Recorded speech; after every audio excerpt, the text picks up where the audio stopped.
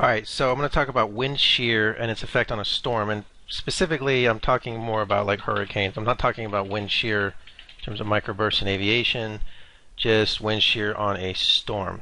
Uh, and so, why is that important? What is shear shear effect on something? Well, shearing is a type of uh, stress that you can put on something. Okay, and there's two types of stress. There's axial and there's shear. There's shearing force. So when you have a hurricane and it needs to form, basically it needs really calm conditions around it because it needs it needs um, for air, at least at the surface, it needs a low pressure at the surface. It needs for that air to start to rise and it to, to start making these these clouds that can kind of go up and gently kind of form on their own.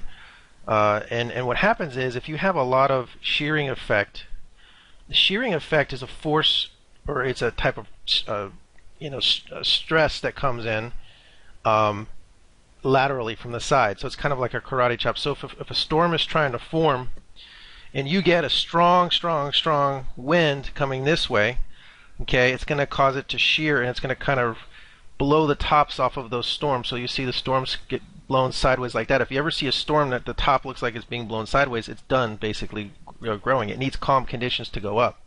So these shearing of forces, if you have strong winds around a hurricane or a tropical storm that's trying to form, it's not going to be able to form because these shearing effects are just going to come in and they're going to stop it from developing. It needs calm conditions to keep rising uh, above it. Okay? And it needs just to keep being able to rise up like this without anything affecting it.